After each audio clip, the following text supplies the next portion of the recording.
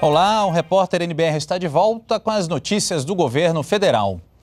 O presidente em exercício, Michel Temer, participou hoje no Paraná da inauguração de uma fábrica de celulose da maior produtora e exportadora de papéis no Brasil. Depois do evento, o presidente conversou rapidamente com a imprensa e falou da geração de empregos na região.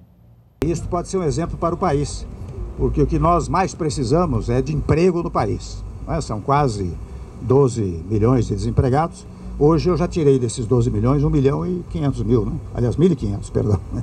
1.500 empregos, né? Que foram gerados por este é, trabalho da Clabin, de fora parte as 40 mil pessoas que trabalharam é, na obra. Então, aqui eu, com muita satisfação, que eu participei deste empreendimento que mostra, digamos assim, as potencialidades do nosso país. Presidente Michel Temer falou também sobre a relação do executivo com o legislativo e reafirmou que está exercendo a presidência da República. É, muitas vezes me perguntam, né? mas você é interino, como é que é, vai esperar? Eu digo, não, não espero. O que eu estou fazendo não é, é, estou exercendo a presidência da República. Então não é a figura do presidente que vale, mas sim a instituição presidência da República. E por isso que ao longo do tempo nós temos é, trabalhado e agido uh, como presidente efetivo. Não é? Vejam o grande apoio que nós temos hoje do Congresso Nacional. Nós conseguimos uma integração extraordinária entre o Executivo e o Congresso Nacional. Em primeiro lugar, vejam os projetos que nós já estamos aprovando, particularmente aquele que resolveu a questão dos estados da Federação Brasileira. Acabei de registrar que aqui no Paraná, a vantagem só neste ano é de quase 500 milhões de reais que serão reinvestidos no Estado, portanto, uh, gerando emprego. Isso vai acontecer em todo o país. Vejam também a questão da limitação dos gastos públicos. Nós já mandamos uma proposta de emenda constitucional ao Congresso Nacional, acertamos com os estados, que também eles, estados, terão as mesmas limitações de gastos. Aliás, isso está sendo introduzido na própria emenda constitucional, que limita os gastos públicos apenas à inflação eh, de cada ano. Enfim, estamos trabalhando de uma maneira que, digamos assim, o Brasil não pode parar. Portanto, eu também não posso parar. A inflação este ano deve ficar em 6,9%, segundo uma projeção divulgada hoje pelo Banco Central. Para o ano que vem, a previsão é de 4,7%. O presidente do Banco Central acredita que a inflação deve se manter no centro da meta porque a economia tem dado sinais de melhora. Analisando as projeções de inflação e a conjuntura econômica que vivemos, temos as condições para atingir o centro da meta em 2017 ou seja, daqui a 18 meses. Estamos com expectativas em torno da meta para 2017. Alguns analistas acreditam que a projeção pode não ser a projeção exata do Banco Central. Acham que pode ser um pouco acima, mas mesmo nesse caso, a magnitude do desvio não justifica a necessidade de adotar uma meta ajustada para perseguir em 2017. Então, para deixar claro, a meta de 4,5 em 2017 é o nosso objetivo. Temos é, uma economia que está começando a mostrar é, melhora, está começando a mostrar uma confiança voltando.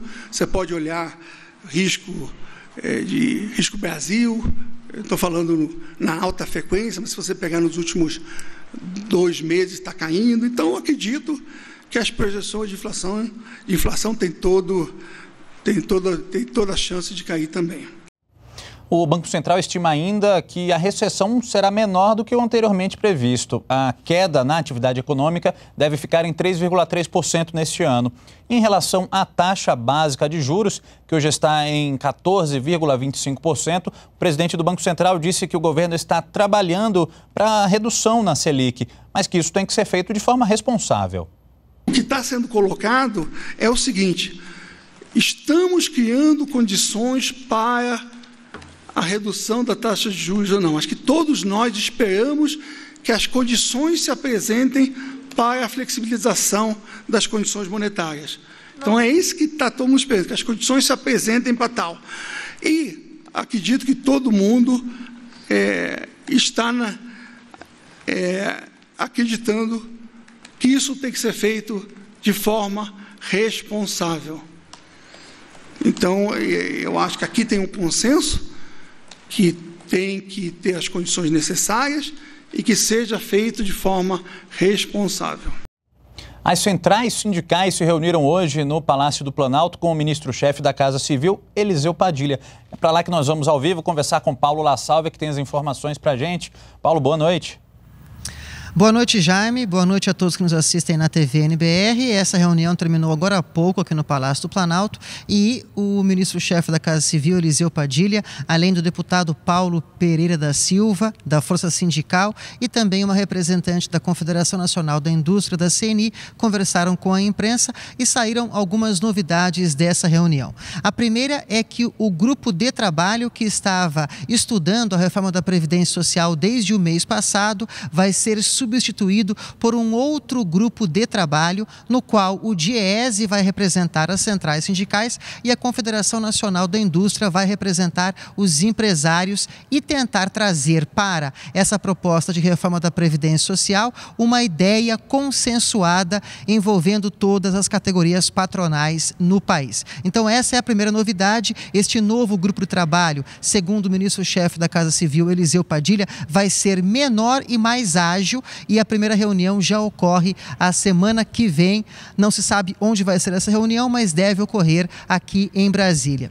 Outras duas questões que saíram desta reunião aqui no Palácio do Planalto dizem respeito a propostas que foram trazidas pelas centrais sindicais. A primeira é que o governo começa a estudar uma mudança na lei das filantrópicas no país para tentar enrijecer o mecanismo que permite a algumas empresas terem esse benefício de serem filantrópicas e se essa lei mudar, essas empresas terão de fazer a contribuição patronal à previdência social. Isso, por exemplo, envolveria empresas da área de saúde, assistência social e educação, que se saíssem da condição de filantrópicas e passassem a ser empresas comuns, poderiam contribuir à previdência social, segundo o governo federal, 11 bilhões de reais, ou seja, financiariam o sistema que está deficitário hoje em dia. Outra questão também ligada ao financiamento desse sistema deficitário seria a venda de imóveis do INSS que estão desativados no país. Segundo o governo, a venda desses imóveis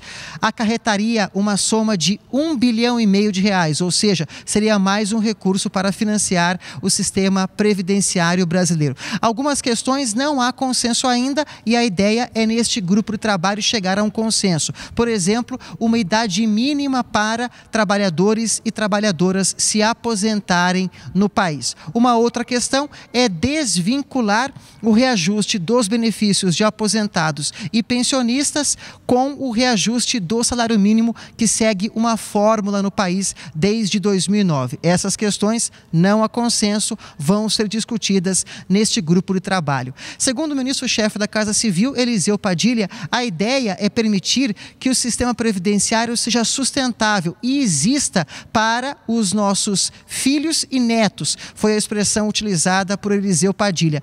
E se seguir no ritmo atual, não vai existir. Então é por isso que a reforma deve ser discutida e apresentada ao governo, ao Congresso Nacional, segundo o ministro, até o fim do ano. Volto com você no estúdio, Jaime. Paulo, obrigado pelas informações atualizadíssimas aí após a reunião de representantes das centrais sindicais com o governo. Obrigado mais uma vez. Uma operação do Ministério da Transparência e da Polícia Federal investiga fraudes em projetos culturais beneficiados pela Lei Rouanet. Um grupo criminoso atuou por cerca de 20 anos no Ministério da Cultura na aprovação de projetos que somam 170 milhões de reais. Em nota, o Ministério da Cultura se colocou à disposição das investigações e disse dar total apoio à operação. Mais de 130 mil alagoanos vão receber água depois da conclusão de uma adutora que capta água diretamente do Canal do Sertão. O ministro da Integração Nacional inaugurou hoje esse trecho.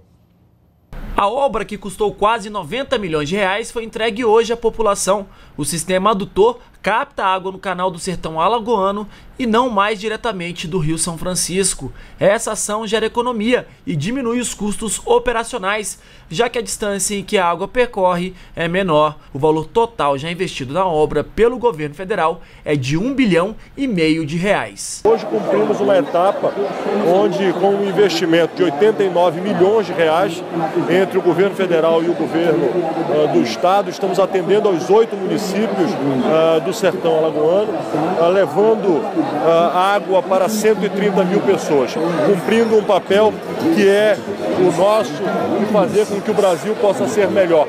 E fazer um Brasil melhor precisa enxergar as diferenças do nosso país e precisamos olhar pelos brasileiros mais sofridos.